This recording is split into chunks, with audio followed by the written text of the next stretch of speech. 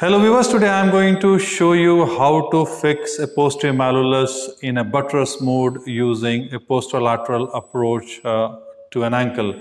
I have already uploaded a, a, video in which I have demonstrated how to do a posterolateral approach. Uh, for finer details, you can watch that video.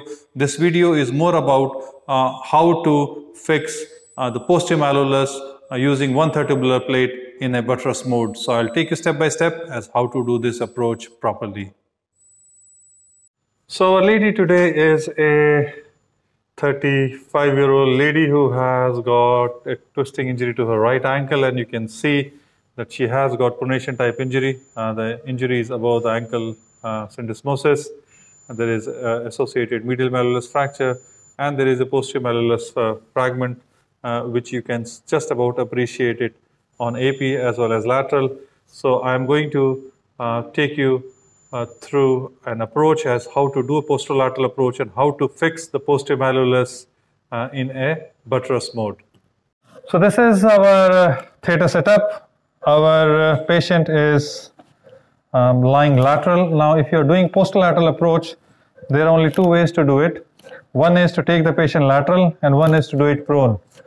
Um, I would suggest that try to do lateral. There are several advantages uh, when you are doing lateral.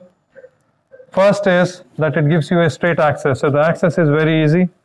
Secondly, if you are taking intraop fluoroscopy, uh, life is much easier, especially if you're looking for a mortise view. All you need to do is lift the leg up and you will be able to get a mortise view. If the patient is prone, it's a hassle to get a mortise view. Also, um, when you are done with your lateral side and the posterior side, so if you have fixed your um, fibula, you have fixed your posterior malleolus, you need to fix the medial malleolus in a trimalleolar fracture. And in that case is lateral has got advantage that all you need to do is to take the support off and the patient will be supine and then you can fix the medial side. Or even if not, even in this position, if even if you don't want to take it, um, make the patient supine, you will still have reasonable access by just rotating the hip.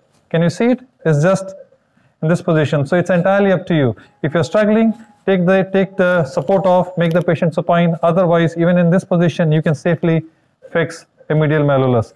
If you're doing it prone, to fix a medial malleolus is next to impossible. So all you need to do, you either have to flip it or most times you have to repaint and redrape it. So this is my position. The tourniquet will be on. We will use tourniquet. Our C-arm will be coming from the front. Our C-arm screen will be on again in the front so that I have got unimpeded access. My trolley will be uh, on my right hand side. So the next step will be skin marking and marking of our skin incision. So now I have done some skin marking. This is uh, our uh, fibula. Now fracture is somewhere across here. This is our tendoachilles. This is the lateral border. The other border is on the other side. Now I've just roughly marked uh, the sural nerve. It will be in our field. Now classically if you read the books they will describe go halfway between this and this. Now you can go halfway um, but I try to be slightly more closer to the fibula and the reason is it just makes your life so much easier when you are applying the plate onto the fibula. Otherwise, if you are too posterior, then you have to lift a lot of soft tissue in order to expose the fibula. So if you are closer to the fibula, there is no real, real harm, but the advantage is you encounter less soft tissue and applying plate becomes so much easier.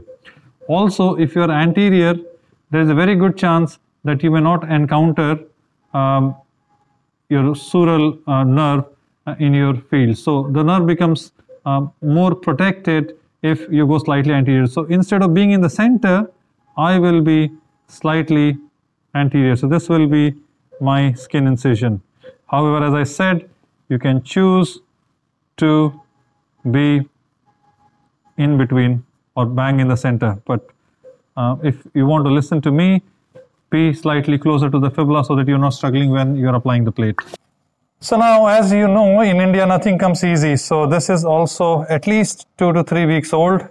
Uh, this whole fracture was covered with granulation tissue. So I've just taken that granulation tissue away.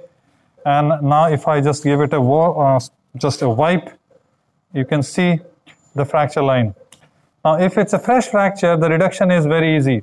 Now, the order of, what is the correct order of fixation? I think you should fix the fibula first and then do this posterior malleolus. Um, what happens is once you gain the length, fixation becomes of very easy. However, I'm making this video, so let me see if I can get it reduced properly without fixing fibula, then that would be great. Otherwise, I'll fix the fibula and then I will join you. So this is the fracture site. I can see I have mobilized it. Now I'm just going to use something like a reduction uh, tool to just compress it and see if I'm able to reduce it. And once it is reduced, uh, if it is reduced, then you have two options. The first option is you can directly reduce it by a plate or the second option is fix the uh, posterior malleolus with a lag screw and then put a plate on top and some surgeons can choose to do that as well but I always try to fix it with and uh, with a plate and try to reduce it with a plate. So after taking away the granulation tissue, I have just taken a clamp from a large fragment and I twisted it and then I'm holding and trying to reduce the fracture. And if you look at our C-arm images, uh, the reduction is almost there. I think maybe a millimeter step, not even that. So I'm just going to accept it and then I'm going to secure it with a K-wire and then fix it in a buttress mode.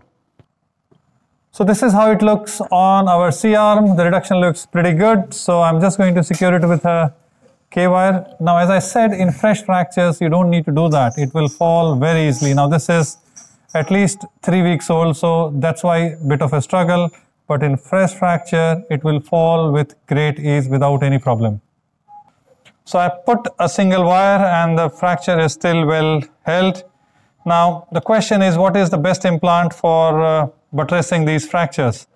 Now there are, I know there are certain surgeons who will use a radius plate for this. I find one third tubular plate the best. It is, it molds very easily and it does the job. So in my books, if you follow me, just use a one third tubular plate. You don't want to be using DCP, you don't want to be using LCDCP, you don't want to be using distal radius plate. Just a one third tubular plate will do its job and it will do it beautifully. It's a cheap and best device. So I'm going to use a five hole plate. I'm going to put it in the back, take some C-arm images to ensure that it is in the center and it is in an acceptable position and then I will put this plate in a buttress mode. So on this occasion, uh, just because I'm making this video, uh, I am fixing this uh, posterior malleolus first. I have taken AP and lateral just to ensure the plate is in good position and the position looks pretty good, both an AP as well as lateral. Now it's just a matter of putting uh, your screws first. So the first screw that I'll be putting will be um, the proximal screw in the one third tubular plate. Drill so I'm just drilling my first hole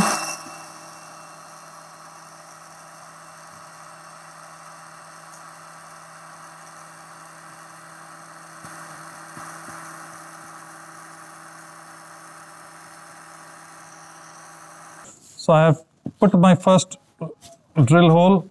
I have measured the right screw and I'm just going to put my first screw in. And that will help in reduction, further reduction as it will compress the plate and I can see here that the plate is right on the fracture and it is I'm having a good bite so this is my first screw so once I put the screw, I'll show you how it looks on a C-arm. So this is our first screw, uh, looks of good length. Um, I think as uh, we will put more screws, it will start compressing the fragment even more. So the second uh, screw that I will put is uh, the most uh, proximal screw and I will take the same length and then we will start putting screw at our fracture site. So now we have put our two screws uh, in and the plate is in a buttress mode. You can leave it like that, but I always try to put a screw through the plate uh, through the fracture site in order to compress the fracture site even further. That's why I have used a long plate. So I'm just going to use a partial threaded screw in the metaphyseal area uh, through the screw and then I will show you how it looks. So this is how it looks after putting our three screws, looks pretty good. So I'm just going to take my this wire out and then I will put one more screw um, closer uh, to the apex and then I will show you how it looks. So this is my last screw. I'm using a cortical one because this is at the level of the cortex. I was initially thinking to put a cancellous screw, but this looks pretty good. So I'm just going to put this. This is right at the apex and you could put this screw first if you want.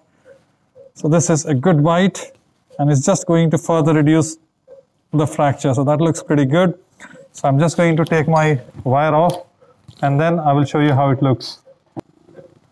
So this is uh, the final picture. It looks uh, good both on AP as well as lateral. On AP, our plate could be touch lateral, but it looks pretty good. This is how it will look when you will use the plate in a buttress mode. So this is the end of an operation. I'm not going to show the closure here. Uh, this is how you uh, put a buttress plate using post-lateral approach in an ankle in a trimalleolar fracture.